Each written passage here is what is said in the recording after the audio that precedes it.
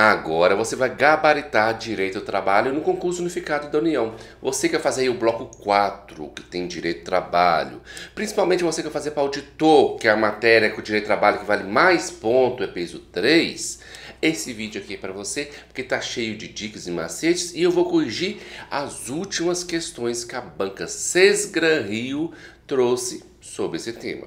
Além de mostrar como que ela cobra isso e como que a gente vai lidar com essa situação agora até o dia da prova, tá legal? Então vamos começar então com a nossa primeira questão. Nossa primeira questão aqui foi do ano de 2023, como eu falei. Então essas últimas questões, as coisas mais recentes sobre direito do trabalho da Banca César Rio, tá? Caiu para advogado do Agério, não sei como é esse não, vamos lá. A regula regulação do trabalho doméstico ganhou amplitude com a edição de vários instrumentos normativos. De acordo com a Lei Complementar 123 de 2015, o horário normal de trabalho do empregado durante o aviso prévio, quando a rescisão tiver sido promovida pelo empregador, sem prejuízo do salário integral, será reduzida de. O que é aviso prévio? Por exemplo, quando o empregador, ou seja, o seu patrão, te mandou embora sem justa causa. O que seria uma justa causa, Jardel? Ah, acordei de TPM hoje, nervosa, briguei com o marido. Chegou lá, o patrão me encheu o saco, metia tapa na cara dele. É uma justa causa. Ou você roubou lá o estabelecimento, é uma justa causa. Se você não fez nada grave, não tem justa causa, mesmo assim te mandou embora, você tem 30 dias de aviso prévio.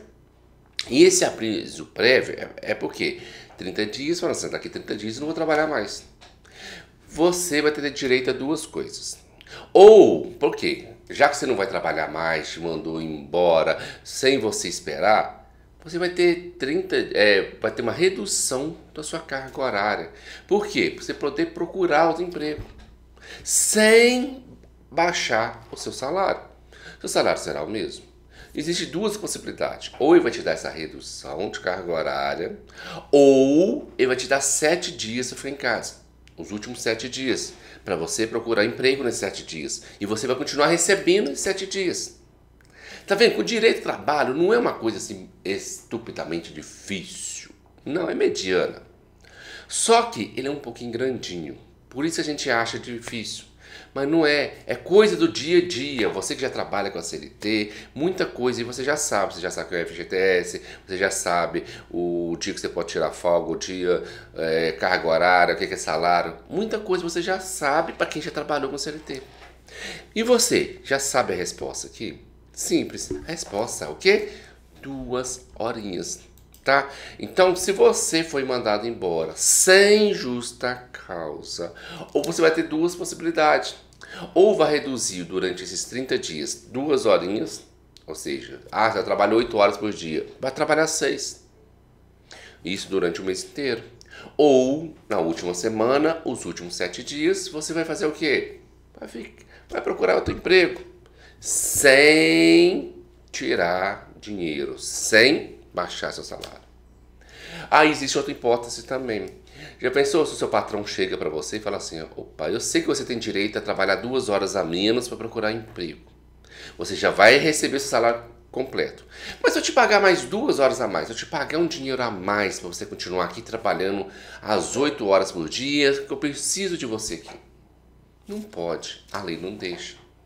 Ele não pode pagar esse a mais, tá? Para você ficar tá? Muito, muito cuidado com isso, porque se eu realmente precisasse de você lá na empresa, eu não estarei te mandando embora. Já que é sem justa causa, você não fez nada de errado, você está te mandando embora, não está te precisando, está precisando de você lá não. Tá? Então muito cuidado com isso. Então duas horinhas. Olha, questão de 2023, tá? Banca César Rio adora cobrar as mesmas coisas, os mesmos dados principalmente o número. Outra coisa que eu vou te falar aqui dessa questão, antes de passar para a próxima, que a maioria das questões da banca Sesgran Rio, ela coloca isso aqui, ó. 2, 3, 4, 5, 6. Ela adora números, tá? E todos os números dela é assim. É, às vezes já começa com 5, 5, 6, 7, 8. Ou se ela começar com 4, 4, 5, 6, 7, É assim, sempre seguido. Tá? Então não vem naquela bobagem que antigamente eles falavam assim, técnica do chute, e quando, quando a banca colocar vários números assim, escolhe o do meio. Funcionava isso antigamente, cada banca é cada banca. Aqui não, tá vendo? Foi, ela escolheu aqui o menor número aqui. Você vai encontrar questões que vai, que vai ser o número do meio, tem questão que vai ser o último número. Tá? Então, tiver número, o que for de número na sua parte que estiver estudando a matéria, guarda sempre a resposta. É só número só tá embaixo, tá? É a dica que eu tô te dando. Olha a questão número 2, agora de 2022. Tem mais 2023? Tem, mas coloquei uma ordem aqui para a gente tentar avançando aos poucos. Olha, uma empregada de uma empresa de cosmético falta serviço diante do falecimento do pai. Nos termos da consolidação das leis do trabalho, o empregado tem direito à ausência decorrente de falecimento de ascendente até. Olha só as respostas: 2, 3, 4, 6, 7. Pulou 5. Mas uma sequência. O que, que ela pediu aqui de novo? Números. Você já sabe uma característica da banca Sesgrail. Esse é o meu papel aqui no canal. Não é apenas te ensinar o conteúdo Conteúdo, conteúdo, eu tenho minha pochilinha, 20 contos, você já sabe, 20 reais, você paga lá, divide várias vezes, paga 3 reais por mês. Você tem uma pochila com todo o direito do trabalho, e não é aquela pochila enorme que o pessoal faz de 200 páginas, não. Eu consegui reduzir ela a um número bem... 200 não, né? Estou vendo o pessoal fazendo pochila com 350, 400 páginas. Eu consegui fazer com 120 páginas apenas o que a Banca Central Rio gosta falando de todos os tópicos digital do, do direito de trabalho que está no seu edital. Tá, 20 reais se quiser. Quer matéria? Tá ali. Mas aqui, no vídeo, eu vou te ensinar macetes, ó. Guarda número. Olha o número. 2, 3, 4, 6, 7. Então, se tiver número, guarda. É isso que ela quer. Qual que eu nunca pediu aqui? Falecimento. Banca César Rio vai te perguntar sobre casamento. O pai casou, quantos dias é para ficar em casa? Licença paternidade, falecimento, doação de sangue, é para você votar. Sim, porque se você trabalhar lá no dia da eleição, se você for convocado, vai ter algum dia que você vai ter que fazer essa reunião lá eleitoral. Então seu patrão tem que te, te deixar você ir sem descontar do salário. Não é verdade? Então, esses números são primordial. Aqui está pedindo o que? O trabalho, direito à ausência de falecimento. Falecimento você tem dois dias consecutivos. Ah, mas já deu. Meu, meu, avô, é, meu pai morreu no domingo e segunda-feira é feriado. Eu já não trabalharia nem segundo, nem domingo, nem segunda. Sim, mas o problema é seu. É consecutivos, aqui não está falando dias úteis, tá? E para te ajudar mais ainda, os principais para a banca Sesgra Rio que vai estar na sua prova, meu palpite. Falecimento de parente, dois dias, guarda aí, tá? Ah, mas não vai pensar nessa tia, avó, não. Parente assim, pai, mãe, o avô, o irmão, bem próximo tá? Casamento, três dias. Quem está acostumado a estudar direito constitucional, direito administrativo, não confundir com servidor público. Você vai ser servidor público agora. Você vai ter lá oito dias consecutivos. Servidor público é diferente. Tá? Então, se estiver fazendo qualquer concurso, pedir coisas sobre servidores públicos no seu concurso, é, e perguntar quanto tempo que tem para casamento, Casamento e falecimento no serviço público, mesma coisa. Casou e morreu, tá? É a mesma coisa, oito dias lá no serviço público. Tá? Você vai ser servidor público, lá você vai ter direito a oito dias. Aqui na CLT, três dias para você casar. Ah, mas três dias não faço minha lua de mel, não. Marca o casamento nas férias, então. Porque pela lei o patrão só vai te dar três dias. Tá legal? Paternidade. Não falei licença maternidade, não. Por que, que eu não estou apostando na maternidade? Porque todo mundo sabe. A maioria que está fazendo esse NU é mulher. Até que assiste meu vídeo, o YouTube fala se é homem, se é mulher. Quando vai mulher, você... E mulheres têm, já sabem o tempo de licença maternidade que elas têm. Mas geralmente as pessoas não sabem do pai. O pai tem direito a 5 dias. Pode ser estendido a 20 dias? Pode. A regra é 5. Mas poderá ser estendido, se a empresa quiser, 20 dias. tá? Doação de sangue, um dia por ano. Tá? Ah, mas eu consigo doar sangue duas vezes no ano, três vezes no ano. Sim, mas o patrão só vai te dar um dia de folga. Não importa quantas vezes você doou sangue, tá? Essa aqui é o principal. Igual eu falei na questão anterior. Você viu que na questão anterior pediu aqui número. Qual que é o número que eu posso reduzir a hora? Aqui pediu de falecimento. Qual que eu, quantos dias que eu posso ficar? Estou te dando outros números. Guarda número se você quer gabaritar direito do trabalho no CNU. Tá ok? Da Gran Rio. Vamos pegar mais uma aqui, ó. ó essa foi de 2022, agora eu vou para 2023. H, estrangeiro, desse Hércules, né? E recebe convite de, de empresa brasileira para exercer suas funções no Brasil. Ou seja, no estrangeiro, tá lá no país do, dos nômades loucos. Aí ele foi convidado para uma empresa brasileira para trabalhar aqui no Brasil, tá? Sendo acordado entre as partes o salário. Então, ou seja, ele vem trabalhar no Brasil, mas ele tem um salário. O período de trabalho e outras condições contratuais. Então, ele é um empregado. Você tem salário, você tem período de trabalho, que, que o empregado tem? O empregado é aquele cara que recebe um dinheirinho, tem um. Já fala habitualidade de trabalho, já tem os dias de trabalho. Tá? Essas são as pessoas voltadas para ser trabalhador. Então, aqui é o empregado. Nos termos da legislação brasileira, o estrangeiro, para ser contratado para empresa brasileira e exercer atividade no território nacional, deve ter, dentre outros requisitos, visto de diplomata. Então só diplomata pode vir trabalhar no Brasil, se for estrangeiro? Não. Quantos estrangeiros você já ouviu falar que trabalham aqui no Brasil? E são diplomatas? Não. Então tem tipo de questão que nem tudo é decoreba de lei. Nem tudo é decoreba de informações. A gente tem que usar o bom senso. Eu estou ensinando isso aqui em vários vídeos. Diplomata, nem todo mundo é diplomata. Você tem que vir na vida real. Todo mundo estrangeiro trabalha no Brasil é diplomata? Não, se não é, se não vai marcar a letra A. Todo mundo que trabalha aqui estrangeiro, trabalha no Brasil, é autoridade? Não. Tem gente que vem fugir do outro, do outro país trabalhar aqui, não autoridade nenhuma. Tem gente que optou mudar de país morar aqui no Brasil. Está trabalhando.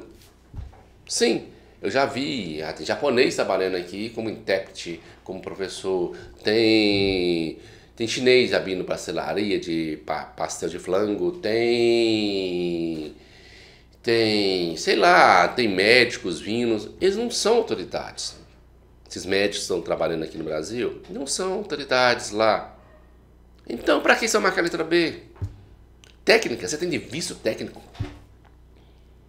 É umas coisas que você tem que ter visto de quê? De trabalho. Olha, a gente está estudando o quê? Direito do trabalho. Então, com bom senso, você sabe, você elimina muitas questões na hora da prova. É isso que eu quero que vocês prestem atenção. Aqui estuda muito, muito, muito passa? Passa. Mas aquele cara que conseguiu estudar moderado, no tempo e tempo, relaxado, mas todo dia, com uma constância todo dia, e sabe interpretar a questão, ele vai muito mais na frente daquele cara que fica estudando 8 horas por dia e fica só para estudar. Aquele cara que decorou a pochilinha todinha, que assistiu todas as aulas 10 mil vezes, mas não sabe resolver uma questão. Por isso, na pochilinha, coloquei lá mais de 40 questões só da Banca César Rio, comentado uma a uma. Além de toda a matéria, você tem 40 questões comentadas. Porque é através da questão que você vai saber como trabalhar desse jeito. Aí por isso que eu falo, é essencial você fazer a questão sem olhar o comentário primeiro, mesmo não sabendo a matéria. Por exemplo, essa questão que dava para você responder sem saber a matéria. Para você saber, olhar quantas questões você consegue acertar sem saber a matéria. Depois você dá uma olhadinha no comentário que eu deixei na apostila. Que aí você vai fazer, opa, eu, eu não pensei nisso já, Deus falou não. Opa, eu acertei. Opa, meu raciocínio estava bom. Só faltava ajustar aqui.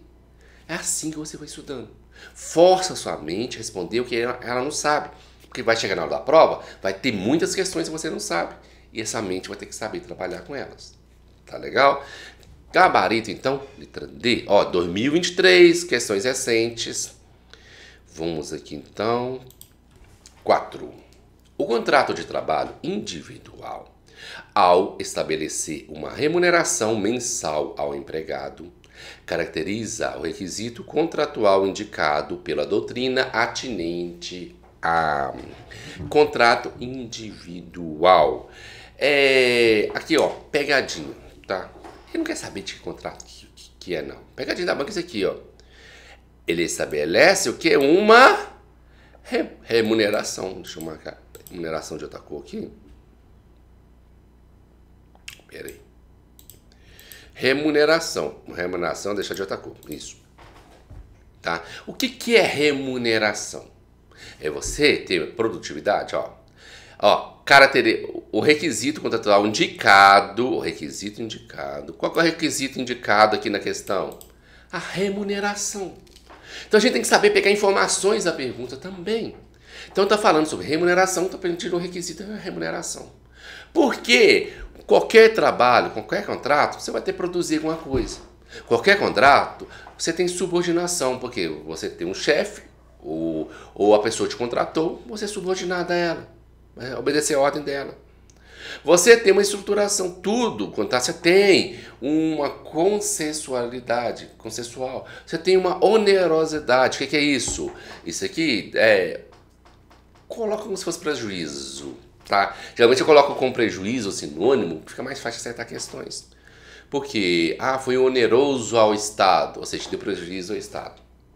Então, se foi oneroso ao patrão, deu prejuízo ao patrão. O que é prejuízo ao patrão? Não prejuízo real. É você estar tá tirando dinheiro dele. Por isso que a nossa resposta é a letra E. Porque está falando lá, estabelece uma remuneração. Que remuneração? O patrão vai tirar dinheiro do bolso dele para te pagar. Foi oneroso, foi uma coisa que tirou do patrão. Por isso que eu falei, ah, foi oneroso ao Estado quando eu bati na viatura da polícia. Foi, porque deu um prejuízo ao Estado. O Estado tinha dinheiro do bolso para comprar outra viatura. Não é? Então, esse sinônimo de, de prejuízo, tá? Não é um prejuízo, porque você sabe que não é um prejuízo. Se o patrão te contratou um pedreiro para fazer um bolso da casa, ele não teve prejuízo, porque ele pagou o pedreiro, ele pagou, mas ele recebeu o, recebeu o, serviço do pedreiro. Tá, mas gente põe prejuízo porque tira, quando sai dinheiro da pessoa, oneroso.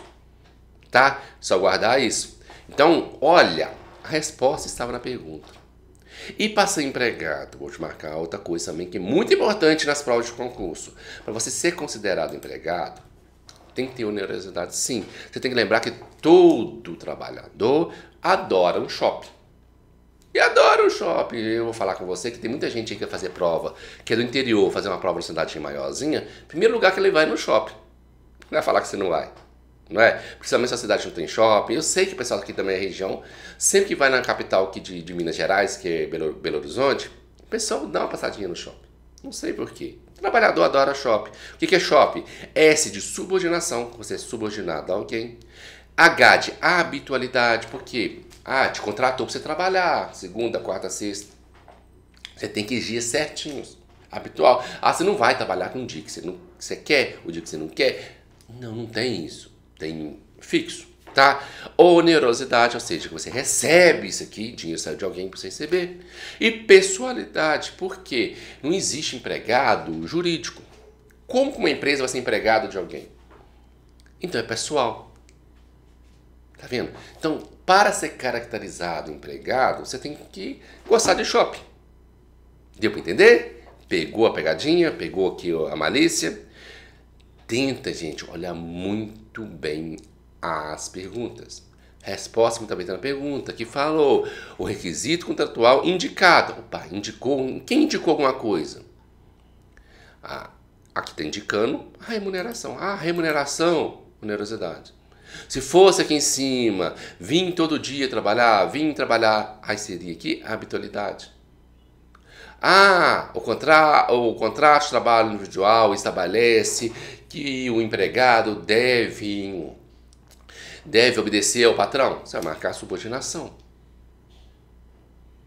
Tá vendo? Porque o requisito contratual indicado na pergunta é o quê? Subordinação, porque você tem que obedecer ao empregado, ao patrão. Olha a pergunta, olha a pergunta, antes de ler a resposta, senão você vai ler a resposta e vai achar, ó, de A até tá tudo certo. Contrato individual tem isso tudo. Tem. Só que o que, que pediu? Tá? Questão, essa aqui é um pouquinho mais antiga, de 2018, mas já está valendo muito a pena ainda. Porque a gente voltar aqui em 2018 pediu praticamente a mesma coisa com outras palavras. Olha só. A relação de emprego somente ocorre em se a relação de emprego somente ocorre se estão presentes os elementos que caracterizam entre eles. Não se pode configurá-la como tal. Assim, os elementos que caracterizam o vínculo empregatício estabelecido por essa relação, opa, é que caracterizam o vínculo empregatício. O que, que é isso? Shopping. Empregado gosta de shopping. O que, que é shopping? Então vamos procurar o shopping. Shopping tem F de fundo de garantia? Não. Shopping tem contrato de trabalho? Não. Shopping tem. Opa, tem S, shopping, salário, onerosidade, o seu salário. Só que lá o S dele está com ótimo, onerosidade, não é verdade? Remuneração, tem que ter remuneração. Adicional noturno, não tem adicional noturno no nosso shopping, não. Convenção coletiva, aviso prévio, tem alguma falando lá no nosso shopping? Você lembra do nosso shopping? Olha o nosso shopping aqui em cima, ó. Tem aviso prévio aqui? Não. Então você não vai marcar essa aqui também não. Então aqui, ó, salário família, salário família, gente, que é isso aqui? Isso aqui é auxílio do governo. Nem todo mundo tem empregado tem salário família. Então, nem todo empregador tem salário família. Nem todo empregador, tá? Habitualidade tem que ter, é, salário, aviso, nem todo empregador vai ter aviso prévio, vai ficar lá reservista trabalhando, né? Entender? Pessoa física. Opa, vamos ver lá se tem pessoa física. Tem pessoalidade. Eu falei, não é pessoa jurídica. Opa, então tem que estar tá certo. Continuidade. Tem, colocou outra, em outra palavra. É habitualidade. Porque você tem os dias certo para trabalhar toda semana. Você trabalha segunda, quarta e sexta. Toda semana você trabalha segunda, quarta e sexta. Tem a habitualidade de trabalhar três vezes por semana. Tem. Ah, mas já deu. No meu contrato eu trabalho segunda, quarta e sexta. Uma semana, outra semana eu trabalho terça, quinta e sábado. Tá, mas isso é habitual. Uma semana você trabalha de um jeito, outra semana trabalha do outro. Pode acontecer. Tá? Subordinação tem, tem lá no nosso shopping? Tem subordinação. Nosso shopping tem onerosidade? Tem aqui, ó, onerosidade. O nosso shopping tem pessoalidade? Tem pessoalidade. Então, a letra E, D, quer dizer, é nosso gabarito. E a letra E? Pessoa jurídica? Não, é pessoalidade. Veja que a letra E e a D igualzinha, tá? Porque você é empregado, você é impessoal, impessoalidade, tem des... Não, é letra D mesmo, o resto não tem. Tá vendo? Tá vendo? Como não é difícil? Basta você pegar algumas características dessa. Mas a apostila está tudo isso aqui explicadinho, passo a passo, uma forma simples e fácil de entender. Só está lá, direito do trabalho na medida certa para o CNU. Nada mais, nada menos do que o CNU está pedindo. Tá legal? Nada mais, nada menos, aquele enrolation que os outros cursinhos costumam colocar aí de 300 páginas. Você não precisa disso, tá? Vamos lá? Menos a metade disso, eu te dou todo o conteúdo e ainda te dou lá 40 questões comentadas. E na questão número 6. Considere que, no processo de contratação de trabalho de um menor para a sua empresa, opa, contratar um menor para a empresa, o assistente administrativo solicitou a autorização de seus representantes legais. Já que somente com esse documento é possível inserir ao trabalhador de menor em. Opa, você quer o quê?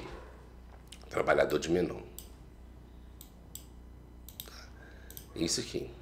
Agora vamos olhar as alternativas. Trabalhar noturno, menor para trabalhar à noite. Vamos ver. B. Locais de serviços perigosos. Opa, você colocar um menor trabalhando em local perigoso. Já, já é perigoso para adulto você colocar um menor. Trabalhando noturno também é perigoso, ele voltar para casa à noite. A gente tem, lembra que a gente tem o ECA para proteger criança e adolescente, decência de menor. Então tem coisas que ele não pode fazer. Se for algo perigoso para ele, que vai ser imoral para ele, igual aqui, ó, locais, serviços prejudiciais à sua moralidade, você vai prejudicar a moralidade de uma criança, de um adolescente que está protegido pelo ECA.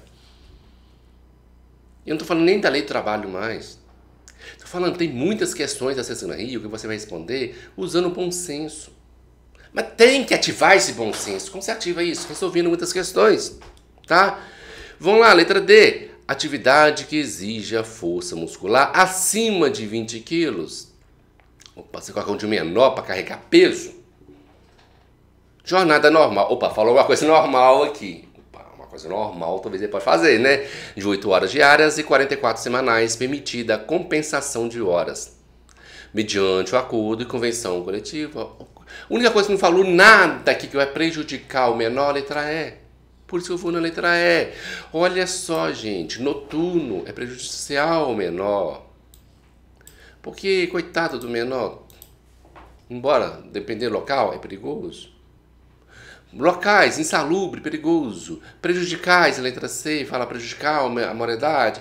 Carregar peso. Gente, vamos usar o bom senso de responder essas questões. Você vai responder muitas questões. Tá? Que muitas questões, tem 40 questões lá na nossa apostila, tá? E vou fazer uma coisa aqui melhor ainda para vocês. Vou começar, vou fazer um, um, hoje um simulado. Sua prova da tarde não, não serão 50 questões? Com cinco eixos temáticos? Você sabe que são 10 questões de cada eixo temático? Vou começar agora, acabando esse vídeo aqui, criar um simulado para vocês. Um simulado com 50 questões também. Igualzinho lá a sua prova, com 10 questões de cada eixo temático, para você facilitar. Ou seja, nesse simulado você vai ter mais 10 questões de direito do trabalho. Então, quem adquirir a nossa apostilinha lá, já vai ter lá 40 questões a seis Rios comentadas e mais 10 questões lá no nosso simulado, 50 questões de direito do trabalho. Mas não vai ter só 50 questões de trabalho. O simulado vai ter os, todos os cinco eixos temáticos. Um simulado igualzinho vai ser sua prova. E um outro PDF comentando cada questão do simulado. Para você poder tirar suas dúvidas. Só que não vai olhar as respostas. Agora, primeiro faça o simulado como se fosse uma prova. Olha no seu edital quanto tempo você tem de prova na parte da tarde. Você vai sentar num dia, sem ninguém te perturbar. Um local que você pode sentar numa mesinha, nada de fazer deitado, no notebook. Não. Imprima a folha, faça que nem a prova e olha qual que é a nota você tiraria. Será que tá bom? Se você tirar, tirar uns 80%, excelente nota para o bloco 4. Tá? Eu acho que uns 80% é uma excelente nota. Se não tiver, você vai notar qual dos eixos temáticos você tirou uma nota menor. E foca bastante nele. Você tem que focar nesse, nesse NU no, nos eixos temáticos do seu bloco que vale mais ponto para o seu cargo. Sim, beleza. Mas também vai ter são uns dois lá, são cinco eixos, né? Vai ter uns dois lá que vale mais ponto para o, o seu cargo. O terceiro que você vai focar naquele eixo que você errou mais no simulado, que ali você tem que focar também, porque vai ter um equilíbrio aí. Aí você tá, em vez de estudar cinco eixos, você vai estar estudando três até maio, muito bom, que você vai sair bem. Tá? Porque os outros dois, você viu, ah, foi, não é nem meu eixo que, que vale mais ponto, mas também não é o, o eixo que eu errei, errei mais. Então esses outros dois sobrou, eu consigo acertar com uma coisinha lá da prova para não zerar ele. Vamos fazer estratégia na hora dessa prova, tá? Por hoje Vou ficando por aqui. Quem quiser esse simulado, quiser a apostila, me chame. Vou deixar aqui embaixo o meu número do WhatsApp. Vou deixar o link aqui da minha plataforma aqui para adquirir a apostila.